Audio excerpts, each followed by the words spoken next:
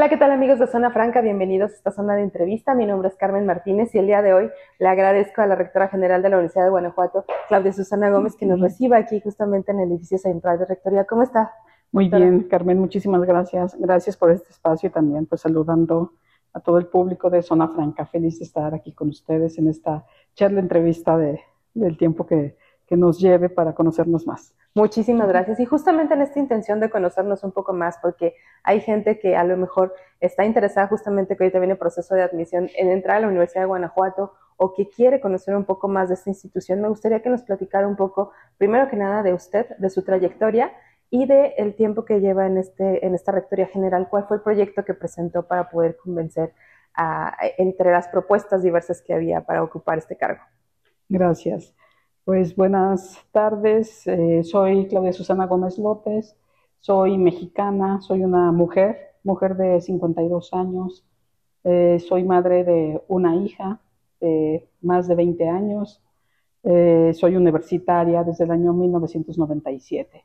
Antes de entrar a la universidad en el año 1997, pues decirles que soy originaria, nací en Ciudad de México, em, ahí cursé mi primaria, secundaria, preparatoria y la universidad. Soy licenciada en Economía por la Universidad Autónoma Metropolitana, Unidad Xochimilco. Eh, también de ahí soy egresada de la maestría en Economía y Gestión del Cambio Tecnológico. Y terminando esa maestría, eh, se abrió una posibilidad en el estado de Guanajuato, que no en la Universidad de Guanajuato. Llegué un, aproximadamente un 15, 20 de agosto de 1996 a una, a una universidad tecnológica que se encuentra en la ciudad de Dolores, Hidalgo. Ahí fui una maestra que, aunque estaba en la Universidad Tecnológica del Norte de Guanajuato, eh, me asignaron a uno de los municipios también con mayor rezago eh, social, que es el de Victoria. Entonces vivía en Dolores, pero me trasladaba todos los días a el municipio de Victoria, desde las 5 de la mañana. Ahí fui muy feliz. Un año como profesora en esa universidad me hizo entender lo que es el noroeste y el noreste del estado de Guanajuato y enamorarme profundamente de el, el estado de Guanajuato.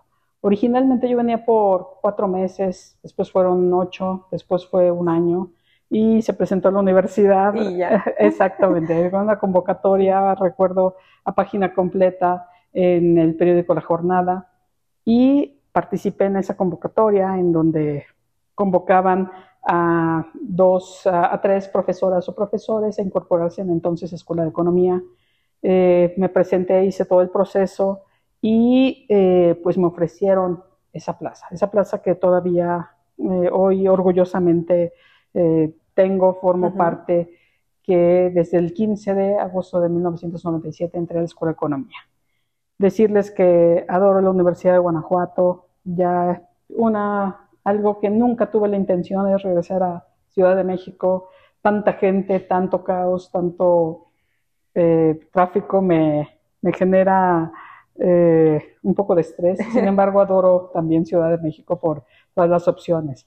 Pero la Universidad de Guanajuato, desde el día uno me di cuenta no solamente tener la posibilidad de crecimiento en la persona, en mi persona, sino también las posibilidades que había para las, los y entonces les. El les es algo mucho más reciente, pero también pues, es lenguaje que, que, a mí ya me gusta utilizar porque incluye, sí. incluye a todas las diversidades que forman parte de, de la sociedad, eh, de la comunidad universitaria y también de la sociedad en la cual vivimos.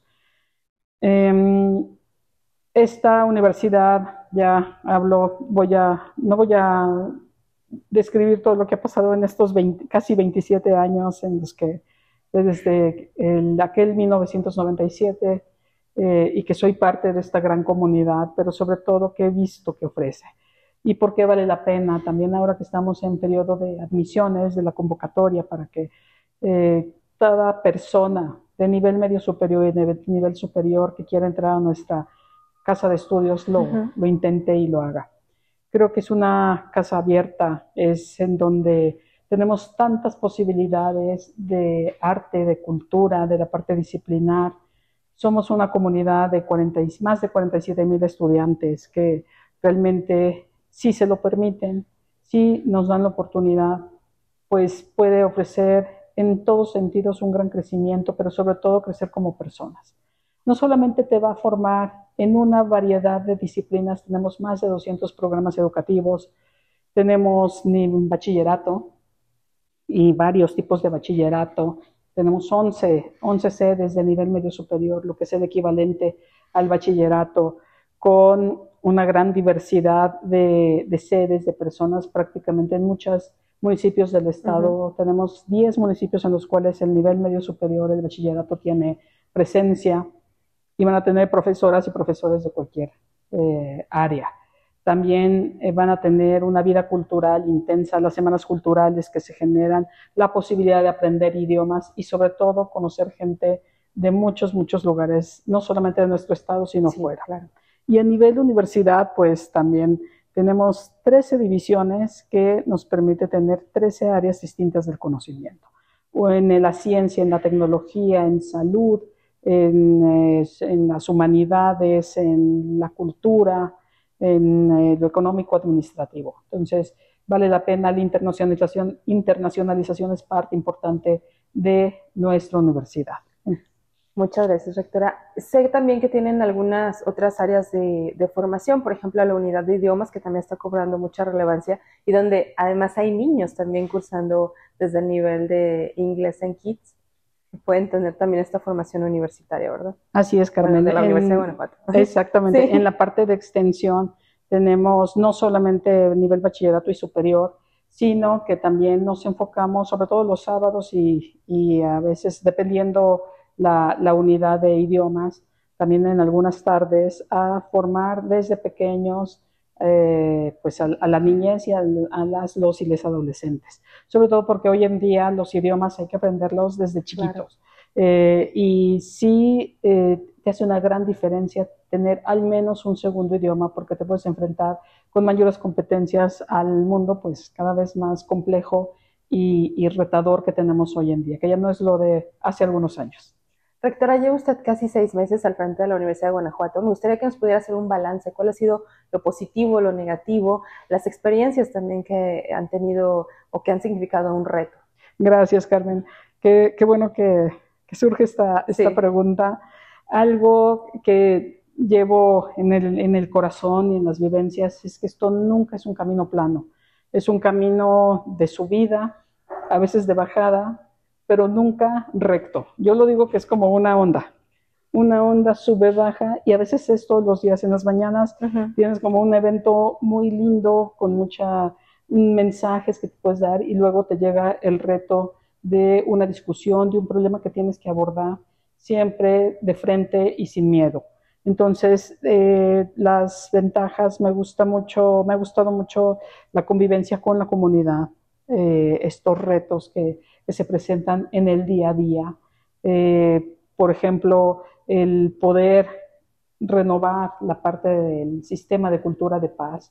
Hoy es una, un, yo le llamo un must, una obligación que tenemos que enfrentar como, como sociedad. Y cuando digo sociedad es toda nuestra comunidad universitaria, que no le corresponde a una persona, le corresponde eh, ni a una oficina. Lo decía yo el día que se entregó el, el primer doctorado honoris causa a una mujer. Esto nos corresponde a todas, a todos y a todos.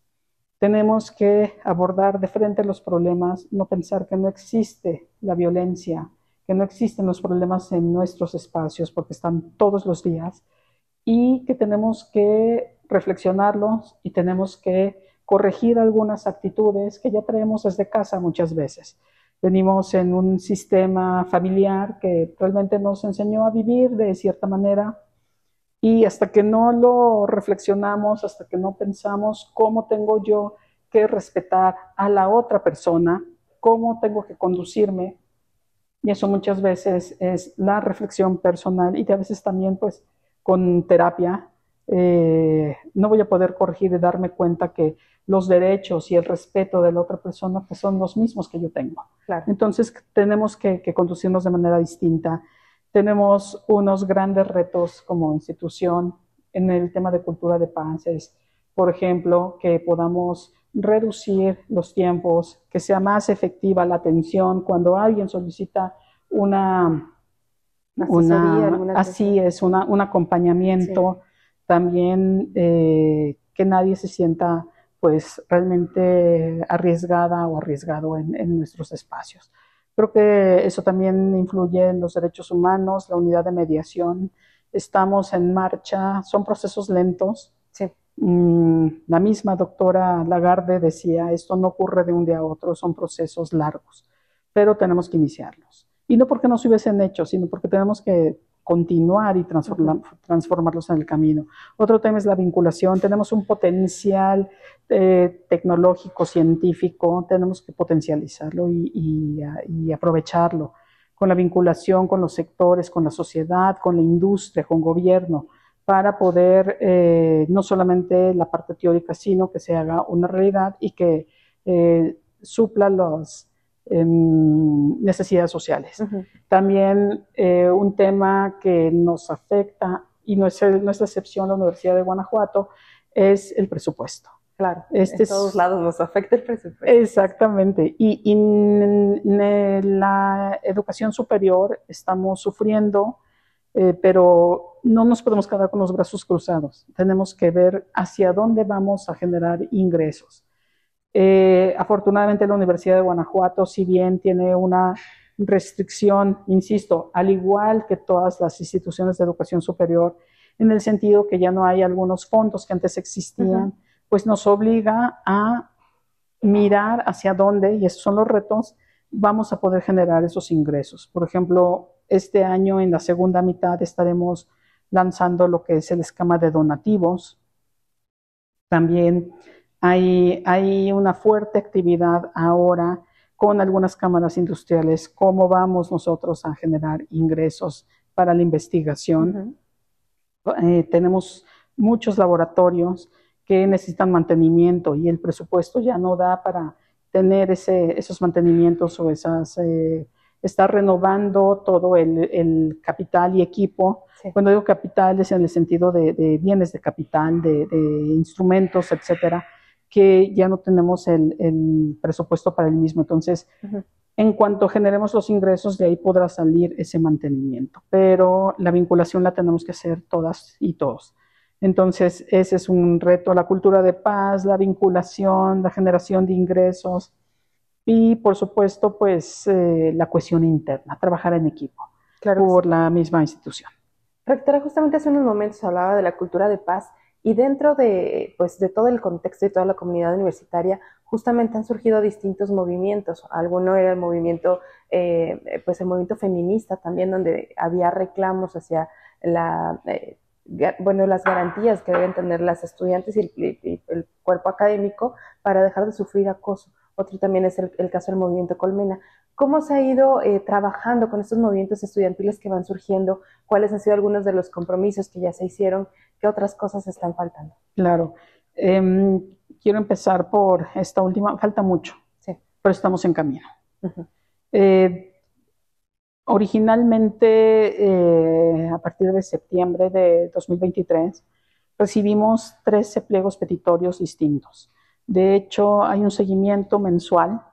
Eh, tenemos un micrositio en la página de la Universidad de Guanajuato en donde está por, eh, no, necesariamente por división, porque a veces es por carrera eh, o por campus eventualmente, o por sede. o sea, con esta diversidad que tenemos como, como, como, gran institución, pues hemos ido atendiendo en la medida de lo posible lo que es em, lo inmediato. De hecho, a mí me gusta mucho marcarlo por color, en el, como semáforo, en el, en el verde, amarillo y rojo. Lo rojo es lo de largo plazo, cosas que no están en nuestras eh, posibilidades, o por recursos o por competencia como universidad. Lo amarillo, lo que está en marcha, y lo verde, lo que prácticamente de manera inmediata se puede solventar.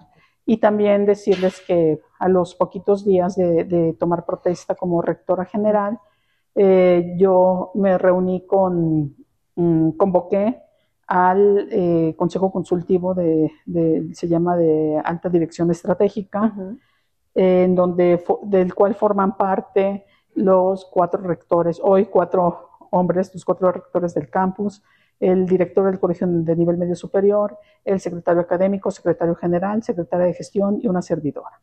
Porque atender todo lo que nos están eh, solicitando o demandando nuestras y nuestros estudiantes, la verdad es que es algo que tenemos que estar atendiendo entre todos. No corresponde a una persona, sino por eso tenemos esta estructura universitaria. Entonces, en ese sentido, se está también, pues, eh, organizando.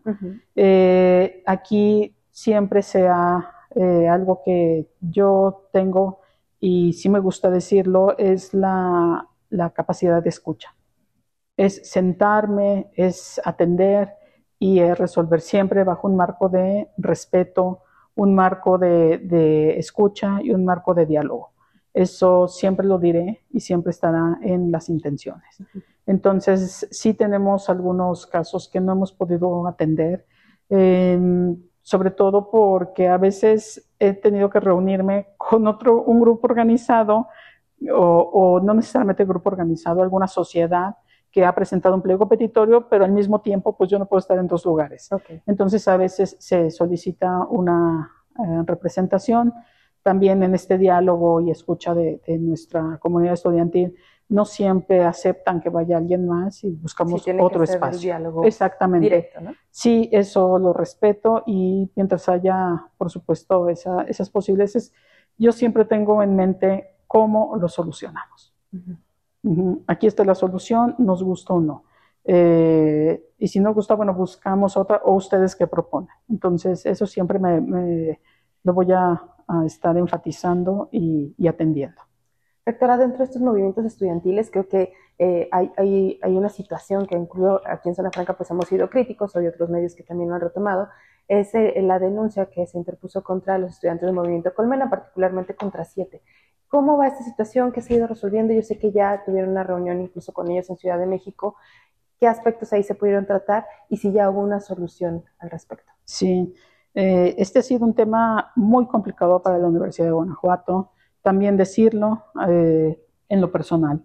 Em, creo que cuando se tiene la intención de, solucionar sobre todo el bien mayor es la Universidad de Guanajuato. Creo que tenemos que pensar en conjunto y no de manera individual. Eh, por un lado, sí, algo en lo que yo creo firmemente, más allá de que nuestra constitución política de, la, de los Estados Unidos mexicanos lo tenga, que son dos derechos humanos, el respeto y las libertades, esos están siempre presentes y se respetan. Y por otro lado, eh, como servidores públicos, tenemos la obligación, cuando hay algún daño, hacer de conocimiento de la autoridad competente. Eso es lo que pasó. En este caso era el INA. Eh, el INA nos tiene un documento en donde eh, afirma que hay una, o presenta, no sé cuál es el, pues la palabra correcta, pero que hay un daño patrimonial y se siguieron las, las investigaciones. Entonces, la semana pasada, las últimas dos semanas fueron sumamente complicadas. Eh, hay que decirlo, yo estaba en Ciudad de México en una cumbre de rectoras y rectores México-España y en dicha cumbre me mandaron llamar eh, porque estaban ahí presentes en el en, la cumbre el subsecretario de Educación Superior, el doctor Luciano Concheiro, y la doctora Carmen Rodríguez Armenta. Dice, bueno, ¿cómo solucionamos? Le dije yo abierta, yo ya tengo la solución, se los dije en ese momento. Em, cuando llego a Guanajuato de regreso, llegué el martes, el 5, el 6, me comunicó con una eh, profesora muy cercana a ellos para decirles, yo ya tengo la solución de inmediato. Eh, por, hay una película que, que, no me acuerdo cómo se llama el nombre exacto, pero una, una serie de eventos desafortunados. Me parece que una serie de eventos desafortunados para mí puede ser la comunicación. ¿No? Cuando no es directa, cuando no es eh, eh, sincera. Entonces yo busqué una cercanía con este grupo de estudiantes eh, afectados y pues decirles aquí está mi solución. Desafortunadamente no se logró. esta profesora me escribió y me dijo que no había una una aceptación. Una, sí, eh, eh, sí, tengo, lo tengo de manera textual, pero que no había posibilidad ah, y mi respuesta fue que lo entendía y que iríamos el momento adecuado, ¿no? Yo antes de llegar a Ciudad de México em, le pedí a la persona que presentó dicha denuncia que la retirara, sobre todo porque no estamos para generar más división, estamos para solucionar. Eh, llegamos a esa reunión, fue sumamente cordial, me parece que fue una mesa neutral, lo que se anticipaba era que había un respeto a la autonomía universitaria que para mí es fundamental, que de manera interna podamos resolver y solucionar nuestros conflictos.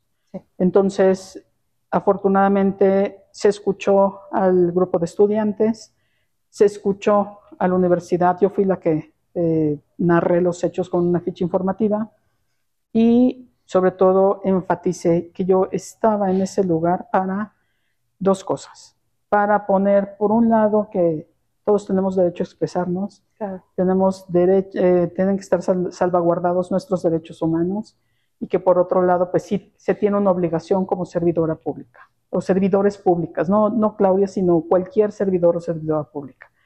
Eh, también em, llegamos, hubo ahí una propuesta de, por parte de, los estudiantes, hubo una propuesta de nuestra parte y finalmente se firmó un acuerdo, ¿no? Eh, yo puse sobre la mesa que esa denuncia ya estaba retirada y que ya está retirada. Sí, absolutamente, ya con acuse y todo, desde antes de llegar a Ciudad de México. Para mí la parte de la autonomía universitaria es fundamental. También decir que yo me comprometí a, obviamente, el, grupo de estudiantes a quienes también eh, los, conozco ya de una manera, pues, con toda esta evolución del movimiento Colmena los últimos eh, meses, pues los conozco a ellos y a otros más de, este dicho movimiento. Y em, mi compromiso fue el seguimiento académico para que ellos puedan avanzar en sus estudios y que puedan efectivamente cuando sea su tiempo y pues los pendientes académicos que tengan, que esto no se, eh, pues queden salvaguardados sus derechos académicos. Esto ocurrirá también, yo estaré programando las entrevistas con cada uno de ellos volviendo de Semana Santa. Ahorita estamos muy cerca de las, del periodo vacacional, entonces yo eso, eso lo haré. Entonces, Em, me parece que ha sido una solución que ha sido pensando en la Universidad de Guanajuato, más allá de, lo que pueda afectar en lo personal. Y por supuesto para ellos les quita pues de un gran, eh, una gran presión, al igual que a todos nosotros como sociedad, porque eh, pues no está bien que, que, se conozca la Universidad de Guanajuato por este tipo de conflictos, sino tendría que ser por su capacidad y sus talentos. Después de esta situación bastante desafortunada para, pues, para la universidad, para los estudiantes, eh, ¿se garantiza también la libertad de expresión para futuros movimientos, movimientos que pudieran surgir dentro del auge? Por supuesto que sí. Sí, yo creo que la manera, la forma de expresarnos, la que sea, pues está abierta, de verdad. Eh, creo también que hemos avanzado mucho las instituciones, la sociedad en general. Quizá antes no se veía esto de manera constante y ahora pues expresémonos. Entonces, eso jamás se cuestionará. Perfecto, rectora.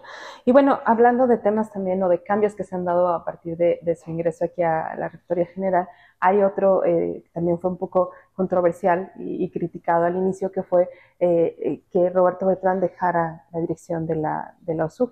Y ahora en este momento pues están probando distintos directores de, orquesta. ¿Cómo va este proceso y cuál fue en realidad el motivo por el cual se destituyó, salió Roberto de, de la dirección de, Gracias. Eh, el motivo es tan sencillo como es un nuevo periodo rectoral en donde quiero buscar, y bueno, y cuando quiero es varias voces de la, de la comunidad eh, universitaria, es buscar nuevos caminos, es buscar nuevos talentos. Entonces, es a mí algo que me ha llamado la atención en la, en la universidad, en la Orquesta Sinfónica, es que nunca hemos tenido una directora titular. Okay. Entonces, han sido hombres también. Entonces, una, una forma de hacerlo es probar, y esta es una muestra de lo que tenemos hoy en día. No tenemos un director o directora titular, tenemos varias y varios invitados que semana con semana pues han estado al menos en lo que llevamos de este año, la primera temporada pues tenemos dos eh, mujeres y un hombre. Entonces hemos visto la diversidad, pero también un potencial de la Orquesta Sinfónica maravilloso. A mí siempre lo he dicho, estoy orgullosa de los UG. Entonces ahora están en los ensayos para Parsifal, bueno, ya ahora en abril se van a presentar eh, a nivel eh, estado y si no estoy mal, pues me parece que es la primera vez que se presenta en México Parsifal. Entonces es todo un gran acontecimiento y con mucho orgullo que la Orquesta Sinfónica. Eh, yo admiro mucho a Roberto, Roberto Beltrán Zavala, eh, le tengo todo el respeto y la verdad es que ahora que le van a dar la, el reconocimiento de guanajuatense distinguido, la verdad es que estoy muy contento porque tiene un talento impresionante. A nivel de los SUG, maravilloso porque después de, yo calculo que será agosto, septiembre, pues ya tendremos posibilidades dentro de estos eh, directoras y directores invitados, bueno, a quien invitamos para que nos acompañe de manera como titular para el año 2025. Entonces será un lujo, también se escuchará a los para ello, cómo se sintieron con estas directoras y directores. Yo he ido a los tres, a los tres conciertos y de verdad me han llevado a otro, a otro lugar. En, en el último concierto eh, con el director Lo Mónaco, disfruté, disfruté los SUG y el ímpetu y ver que se estaban divirtiendo en el concierto. Los vi sonreír. Entonces, de verdad que es, lo que quiero ver en, en, en la orquesta. Y los, los, integrantes de la orquesta no han manifestado si es complicado trabajar de pronto con tantos directores, o sea, eh, como cambiar la forma de trabajo de uno a otro. Habrá posibilidad, hace un momento lo decía, que sí tendrán voz de expresar, ¿ya han expresado algo sobre este, este tema? No nos hemos acercado. La, la, reunión que tuvimos fue, si no mal recuerdo, fue el 6 de febrero, martes 6 de febrero, si no, si no mal recuerdo, ahora nos, nos confirman la fecha. Eh, hubo eh, distintas voces eh, yo me reuní con todos los SUG para escuchar, también para que me escucharan y obviamente hay inquietudes eh, con respecto a varios temas. Uno de ellos es, bueno, ¿quién va a ser o por qué cambiar? Eh, voy a esperar a que pase Parsifal porque la idea es que yo me pueda reunir con ellos cada dos meses también para esa para seguirnos escuchando. Y sobre todo es que no va a ser una decisión de una persona, sino de distintas voces. A ver cómo, seguramente con no solamente una evaluación cualitativa, sino también cuantitativa. Y sobre eso, invitar a alguien de manera más permanente. Muy bien, doctora. Hablando de cambios, se aproximan también cambios en cuanto a las rectorías de campus. ¿Cómo viene este proceso y cómo se va también a, llevar a cabo estos relevos, considerando el proceso también reciente de cambio de rectoría general y todas las críticas que hubo hacia, hacia el protocolo o el proceso que se tuvo que seguir? Claro, bueno, el, proceso sigue siendo el mismo porque nos rige una ley orgánica y en la ley orgánica el proceso es el mismo. Es la junta directiva la que designa a la rectoría general, a las, eh, eh, a las eh, rectorías de campus, al director o directora del colegio de nivel medio superior y a las directoras o directores de divisiones. Em, entonces, en el periodo entre Semana Santa y las vacaciones de julio, tendrán que salir las convocatorias correspondientes, si no estoy mal en, los tiempos, y pues son convocatorias abiertas que realmente nuestra ley orgánica establece en los artículos correspondientes cuáles son los requisitos que debe de cumplir quien aspire a esas titularidades. Entonces, eh, entiendo que es un proceso abierto y que, eh, pues que participe quien, quien sobre todo aspire a tener dichas responsabilidades que son grandes cargos con muchas posibilidades, al igual que la Rectoría General, con retos, con oportunidades, pero sobre todo con la posibilidad de trabajo en equipo y seguir construyendo hacia la eh, Universidad de Guanajuato, para la Universidad de Guanajuato. Este año cambiarán cuatro rectorías de campus, una dirección del colegio de nivel medio superior y 12 eh, directores y directoras de eh, división, porque hay una que cambiará hasta el, iniciando el año 2025. Entonces, pues enormes cambios. Obviamente, aquí el, el ideal es que todos trabajemos hacia el mismo rumbo para la universidad, que siga creciendo, que se siga consolidando.